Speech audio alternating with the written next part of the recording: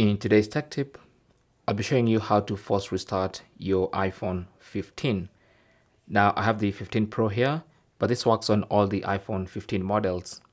Now forcing a restart will fix minor issues, maybe if, if you have bugs or you have some apps freezing or even the operating system, some areas of it that are freezing, then this should fix all your problems.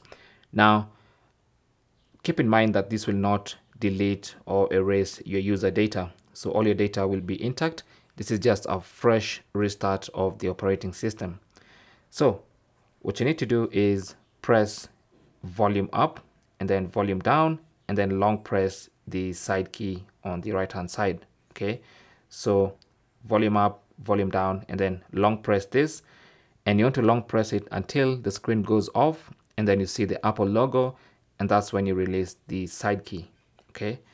So volume up volume down side key press and hold. Just keep holding. You'll see the power menu. Just ignore it and keep holding on the side button. Screen goes off.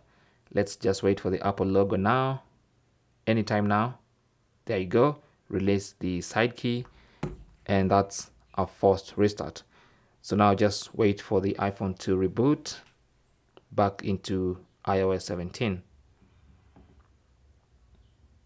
There you go. Simple as that. Thanks for watching. Leave your comments and questions down below and good luck.